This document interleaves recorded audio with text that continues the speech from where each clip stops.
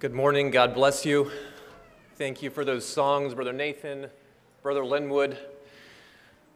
Second to last verse we sang in that final song says, Thy saints in all this glorious war shall conquer, though they die. They see the triumph from afar and seize it with their eye. The church that overcomes Satan. We've been singing, but I'd like to invite you to stand one more time, and we're going to sing one more chorus as we begin. Let's go ahead and stand. And stand. We could just have this mic off. Let's sing together that chorus. We've got the power in the name of Jesus. We've got the power in the name of Jesus. We've got the power in the name of the Lord. Though Satan rages, we will not be defeated. We've got the power in the name of the Lord. The next verse says For many years now, Satan's tried to stop us, but the church of Jesus is still alive. Like a mighty army, we keep marching onward, winning every battle with the Lord by our side. Let's sing the second verse. It says, So come now, let's agree together that all our enemies are under our feet. So come now, let's agree together that all our enemies are under our feet, and whatever we bind on earth shall be bound in heaven. And at the name of Jesus, Satan has to flee. Sing, we've got the power in the name of Jesus. We've got the power in the name of the Lord. Though Satan rages, we will not be defeated.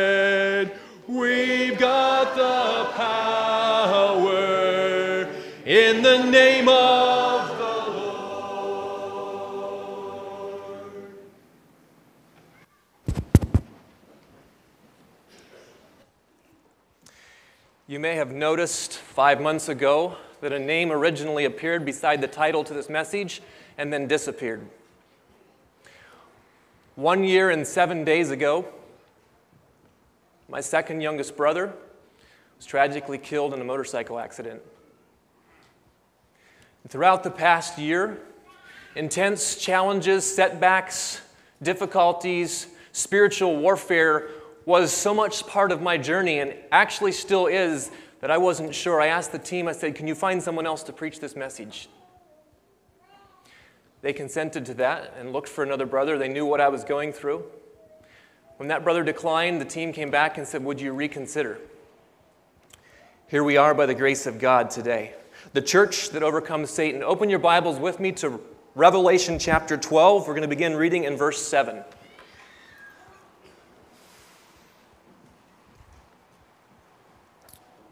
Verse 7 says, And there was war in heaven.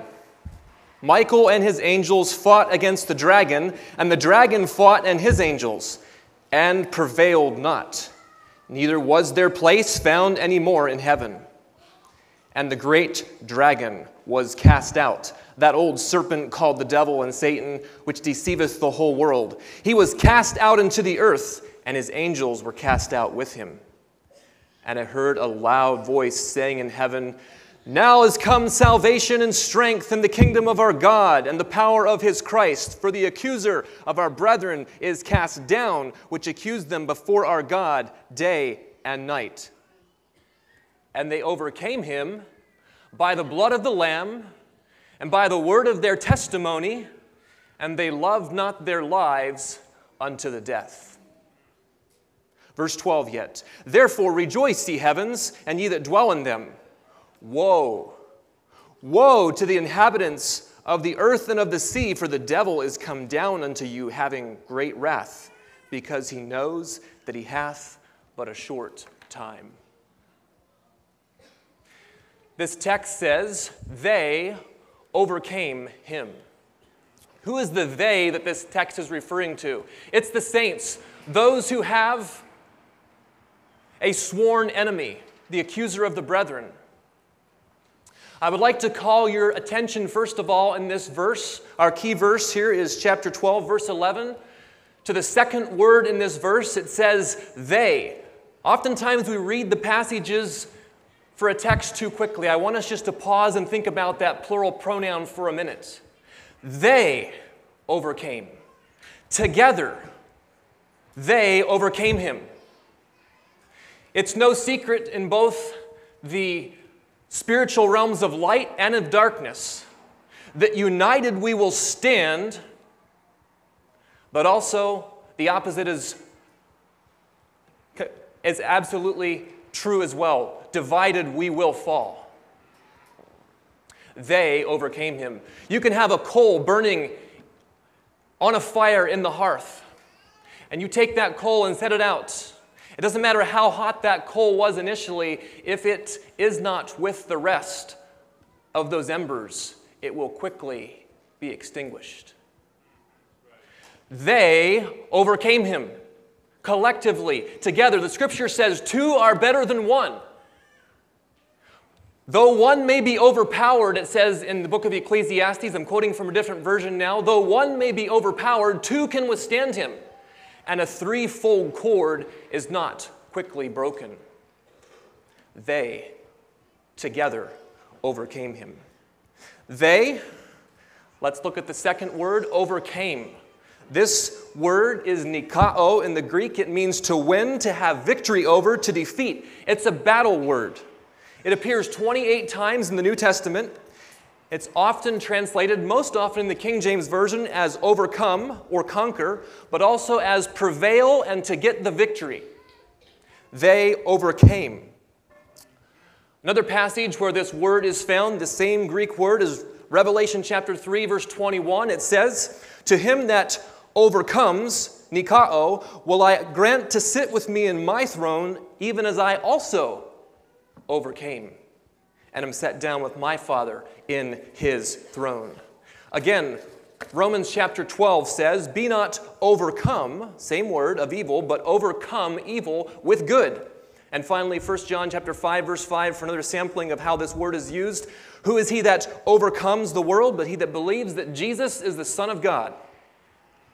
The repetition of this word, brothers and sisters, in multiple contexts reminds us that the Christian while living in this present fallen world, is in a battle. They overcame. The next word in this phrase is him. They overcame him. And I want to pause just a minute and consider who it was that they overcame.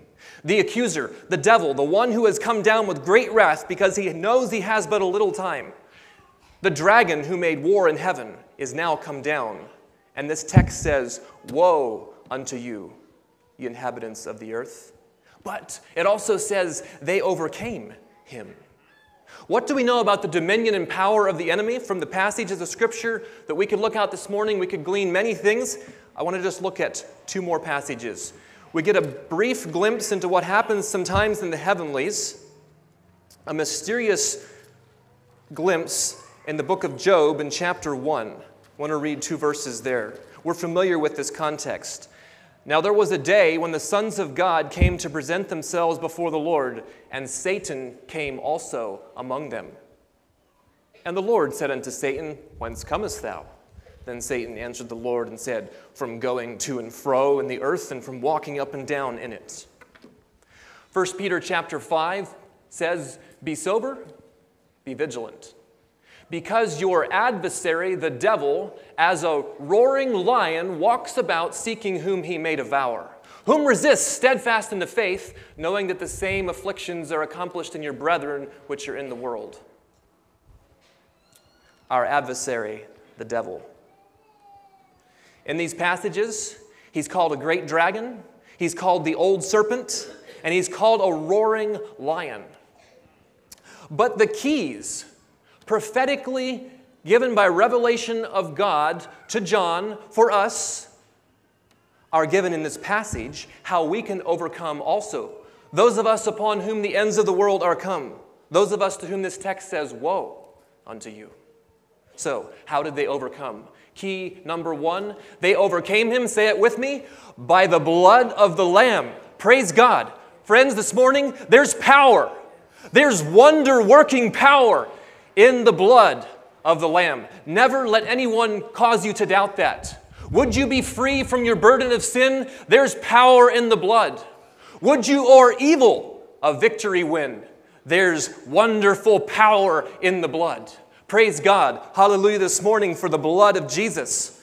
Scripture tells us that we are redeemed by the blood. We are cleansed by the blood and justified by the blood. 1 Peter chapter 1 says, For as much as you know that you were not redeemed with corruptible things like silver and gold, but with the precious blood of Christ. Redeemed. 1 John chapter 1 says, The blood of Jesus Christ, his Son, cleanses us from all sin. Romans chapter 5 says, Much more than being now justified by his blood, we shall be saved from wrath through him.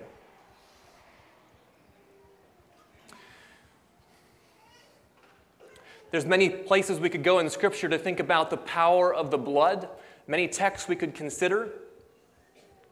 But I want to challenge us this morning to recognize that though there are many who believe, take our Muslim friends for example. I sat with a Muslim young man about two years ago and had this very discussion that God is merciful and he can choose to pardon us if he so desires, though there may be many who may believe that. The scripture says the wages of sin, the payment or punishment for sin is death. God told Adam and Eve, In the day that you eat thereof, speaking of the forbidden fruit, in the day that you eat thereof, you shall surely die. And we know, according to the scriptures, that death reigned from Adam to Moses to John the Baptist, the last prophet of the Old Testament, both physically and spiritually. Separation from God. We saw that initially in the garden. They no longer could have access in the same way to the very presence of a holy God. I believe that the, even the Old Testament saints, brothers and sisters, could not enter into heaven but through the blood of Jesus Christ, by the new and living way that He has consecrated for us through the veil, that's to say, His flesh. Scriptures tell us there's no other name given under heaven among men whereby we must be saved. Hebrews chapter 10, verse 4 says, It is not possible that the blood of bulls and of goats should take away sins. Hebrews 11 goes on to say, These all, the heroes of faith, these all died in faith, not having received the promises 1 Peter chapter 9, I'm sorry, 1 Peter chapter 1 verse 9 talks about us upon whom the ends of the world are come, receiving the end of our faith, even the salvation of our souls. Verse 10 says, Of which salvation the prophets inquired and searched diligently. Searching, of which salvation the prophets inquired and searched diligently, who prophesied before of the grace of God that should come unto you unto whom it was revealed that not unto themselves, but unto us they did minister the things, which are now reported unto you by the Holy Ghost, by them that have preached the gospel with the Holy Ghost sent down from heaven. The prophets inquired and searched diligently, who prophesied before of the grace that should come unto you. So then, consider with me, before the death of Christ, where were the souls of the departed who died in faith? Those who had died not having yet received the promises. Jesus tells us a story in Luke 16 that gives us maybe just a, a, a small glimpse into this reality pre cross. There's a story about a man who died and was carried by the angels into Abraham's bosom. Another man who died and was buried and lifted up his eyes in hell and Hades and saw Abraham and Lazarus across this great gulf that was fixed between them and said, Father Abraham, send Lazarus to come and dip the tip of his finger into water to cool my tongue, for I'm tormented in this flame.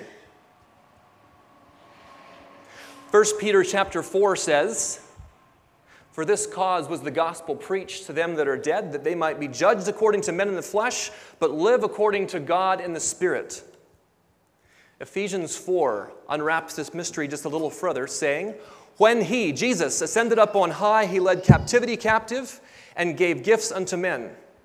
And again, now that he ascended, what is it but that he also descended first into the lower parts of the earth? The lower parts of the earth. What is this talking about? And who were the captives who were held there? I believe these scriptures are speaking of the abode of the dead pre cross. Before the cross and the resurrection, before the New Testament offering of the blood of Jesus Christ and the rending of the veil, both the temple and tabernacle were only a shadow of the heavenly. But now, Hebrews says, Christ is not entered into holy places made with hands, which are the figures of the true, but into heaven itself, now to appear in the presence of God for us. But this man, Hebrews 10 says, after he'd offered one sacrifice for sins forever, sat down on the right hand of the majesty on high. Hebrews chapter 2, verse 14, Brother Ken quoted this verse this morning, says this For as much then as the children are partakers of flesh and blood, he himself also likewise took part of the same, that through death he might destroy him that had the power of death, that is the devil. Satan had, past tense, Satan had a rightful hold on all who were ever born from Adam and Eve until the second Adam, Jesus Christ, the one because of whom the Apostle Paul could say, "Oh, death, where is thy sting? O grave, where is thy victory? The sting of death is sin, and the strength of sin is the law. But thanks be to God who gives us the victory through our Lord Jesus Christ. The scriptures tell us, for this cause, for this reason, the Son of God was manifested that he might destroy the works of the devil. The little boy from the carpenter's shop Born in a stable, his mother a virgin, raised in a carpenter shop. His parents were poor, his people were slaves, his friends a lonely lot. His chances in life were very slim, he's expected to be a slave. But people in darkness saw light in him, and hope of freedom he gave. All of the powers of heaven and earth God had invested in him He's to die on the cross, descend into hell, meet the devil, and take the keys from him. He yielded himself to the death on the cross, cried, It's finished, and slumped to die. In the regions of hell, the devil celebrated. We've destroyed the king, he cried. But in the midst of the celebration, footsteps were heard walking the corridors of hell. And the shouting stopped, and a voice rang out, a voice that rang like a bell. Satan trembled as he recognized him who had come to deliver his own. Shut and lock the gates, he cried. Don't let him ascend to his throne. So the gate swung shut in the face of the king to prove God's salvation untrue. But he shook hell's gates and he cried, Lift up your heads, the king is coming through. Then out of the devil's prison house came a procession led by the king, shouting, Now, O grave, where is thy victory? And death, where is thy sting? Who is the King of glory? The Lord God mighty in battle is he. Who is the King of glory, master of hosts of heaven supreme? Who is the King of glory? The one that not even death could stop. He is the King of glory, that little boy from the carpenter's shop. Brothers and sisters, in Revelation chapter 7, John heard this question. He says, And one of the elders answered, saying unto me, Who are these which are arrayed in white robes, and whence came they? This multitude, unnumerable, before the throne. And I said to him, Sir, thou knowest. And he answered, saying to me, These are they which came out of great tribulation and have washed their robes and have made them white in the blood of the Lamb. They overcame him by the blood of the Lamb. Secondly, this text tells us that they overcame him, say it with me, by the word of their testimony. Say it again by the word of their testimony. Proverbs chapter 18, verse 21 says that death and life are in the power of the tongue. We're created in the image of God. And as image bearers, we have creative potential in the words that we speak. Both death and life are in the power of the tongue. It says in the book of Romans if thou shalt confess with thy mouth that Jesus Christ is Lord, if thou shalt confess with thy mouth and believe in thine heart that God is raising from the dead, thou shalt be saved. We could talk about the confession that takes place at baptism. We sometimes think of testimony in a more traditional sense, and I want to talk about that. But for just a minute, consider the power of spoken words at your confession at baptism or the ordinance of marriage. When you speak, many of you have had this privilege. I stood before the altar one day, and the pastor asked me, it was Kelsey's husband, it was Kelsey's father, she asked me, he asked me, I'm sorry, Brother Kent asked me, he said, Joel, will you take this woman by your side to be your wedded wife? Will you love and cherish her and keep yourself only unto her as long as you both shall live? I will. The creative potential and power of those words. I don't know what the questions were asked. I don't know what questions were asked you at your baptism. Do you believe that Jesus Christ is the Son of God? I do. Upon this confession of your faith, I baptize you, the power of the spoken word. Martyrs at their death were very well known to continue testifying right up to the end. They continued praising and thanking God with supernatural grace and power, talking of their commitment to Jesus Christ. At times, as we know, their persecutors became so enraged at this testimony that they attempted to silence them by cutting out their tongues or screwing their tongues to the roof of their mouths they continued praising and thanking God. Gospel of Luke, Jesus speaking, says, They shall lay their hands on you and persecute you, delivering you up to the synagogues and into prisons, being brought before kings and rulers for my name's sake. And it shall turn to you for a testimony. Settle it therefore in your hearts, not to meditate before what ye shall answer, for I will give you a mouth and wisdom which all your adversaries should not be able to gainsay or resist. Starting with Stephen in the book of Acts, we see the promise fulfilled that Jesus had spoken to his disciples just a few years earlier. As Stephen spoke, they could not resist the wisdom or the authority. The Holy Spirit was on him, and he as he spoke, he, he quoted scripture and he cut to the heart with the words that the Lord had given him instantaneously in fulfillment of this promise. Jesus also, when standing before the Sanhedrin, as they provoked him to speak, finally, before the high priest, he quoted Daniel chapter 7, which speaks of the Son of Man coming in the clouds of heaven with power and authority. Jesus and Stephen both stood before the councils and they spoke with authority. Not only that, they spoke the Word of God. Think about that for a minute. They spoke the Word of God. The martyrs were known to quote Scripture. They knew the Word of God, they knew the written Word of God. Jesus also overcome, overcame, as we know, the devil in the wilderness. Three times he said, It is written. It is written. How could he do that? He had the Word of God written on his heart. And a challenge I'd like to leave with us here this morning as we think about the, the word of our testimony. Yes, let's rely on the power of the Holy Spirit. Let's also continue to commit the Scripture to memory. That's one of the things I appreciate about Kingdom Fellowship Weekend. This year we were memorizing Psalms 127. As I was meditating on that, I saw that there's a verse here that directly relates to this particular section of this, of this uh, topic. Speaking of how that our children will be like arrows in the hand of a mighty man, the psalmist says, They shall speak, they shall speak with the enemies in the gate. Our children will speak. They shall not be ashamed, but they shall speak with the enemies in the gate. You know, do you ever feel ashamed? Do you ever feel quiet? Even the Apostle Paul, in the book of Ephesians, he's sitting in Rome, bound in chains, and he says, Pray also for me, that utterance may be given unto me, that I may open my mouth boldly to make known the witness of the gospel. For the which I'm ambassador in bonds.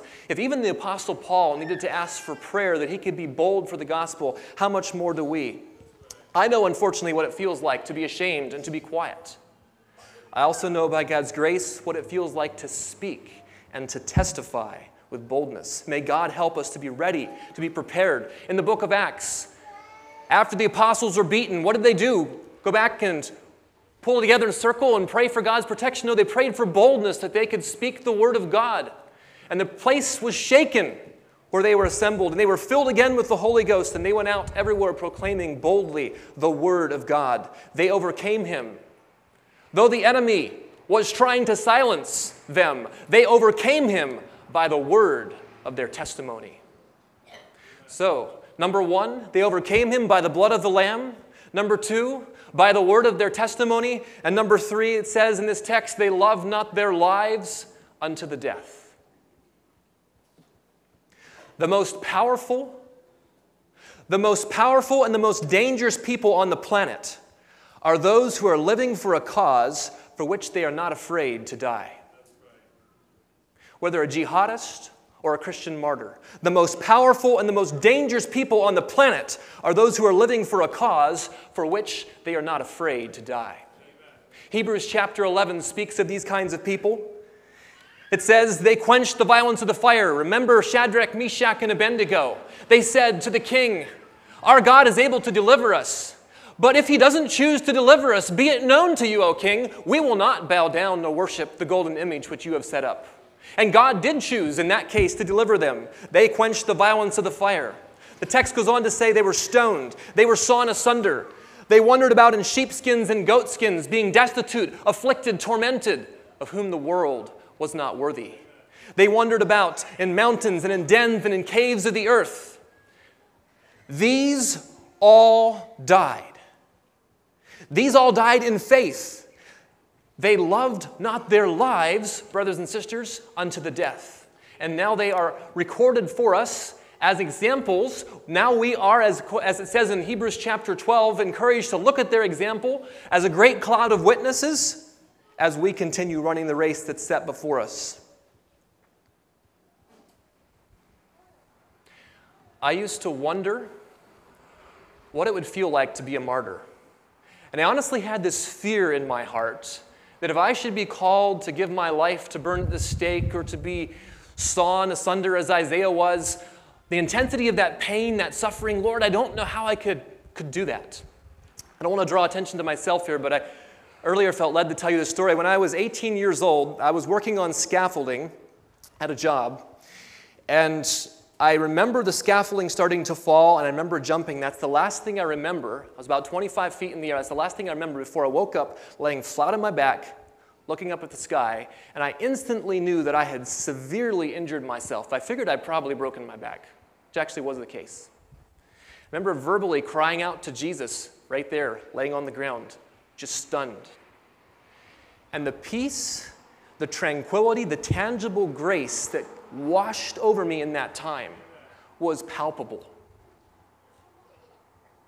I've never since that time wondered if God can give us the grace in those great and intense times of affliction and suffering, as He has been faithful to give the martyrs in times past.